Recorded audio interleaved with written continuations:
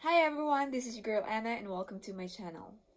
First of all, I want to thank you guys for taking the time to watch my videos because every little thing that you do here in my channel, whether you hit that like and subscribe button, turn on that notification bell, or leave a comment in any of my videos, I know that someone out there appreciates what I do, and I thank you for that. As you can see in the title down below, today I will be showing you my top 5 favorite Instagram illustrators. Those are the people who shaped me and helped me find my art style, which they probably don't know about. So I'll be dedicating this video to them. Throughout this video, I will be putting their names on Instagram so you guys could check them out. I've made my very first post in Instagram back in January 21st, 2017. And on my future video, I would probably recreate the specific art, which is this, as a celebration of my third year anniversary. So without further ado, here we go! First in my list, but in no particular order, is Natalia. As you can see, she is three years younger than I am and she is from Poland. I really love her art style, but what I like the most about it is hers looks kind of realistic and fun at the same time. I actually think that she is great at color matching unlike I am that goes more towards safer colors like black. What's fun about her page is she makes these satisfying videos like this that I really love to watch. It's almost like being hypnotized. Every day, one of the first thing I do in the morning is to check if she uploaded new videos in her YouTube channel. You guys should definitely check her out. She uses a lot of marker as a base and shadow for the color and colored pencils for fine details.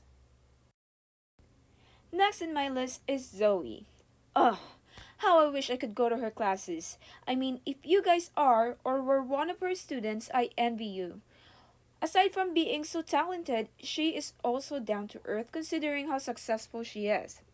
I learned from her the basics of fashion illustration, so if you guys are just starting to do fashion illustrations, I recommend that you check out her YouTube channel.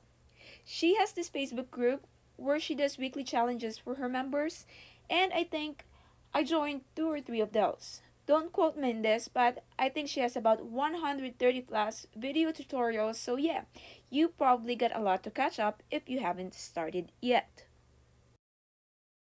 Then, here is Zoljargal from Australia. When it comes to drawing slash illustrating slash painting gowns, I love watching her techniques. She first uses watercolor, then fill in the details with color pencils, and my favorite part is when she uses glittered glues. So when you see in my videos that I was using those, I got the technique from her and I give her all the credit for that. I actually draw this Dolce & Gabbana from the collection of Spring 2015 last April 2018, but mine was nowhere near hers. If you follow me on my Instagram, you will notice that my three previous posts since Christmas were all digital that I created using Procreate app. Well, I blame it to her. Tess. Her art is just so amazing that every time I see it on my feed, I almost all the time immediately grab my pencil and iPad. I mean, come on, Tess. People like me that loves you got other things to do. Anyways, most of my digital illustrations were inspired by hers.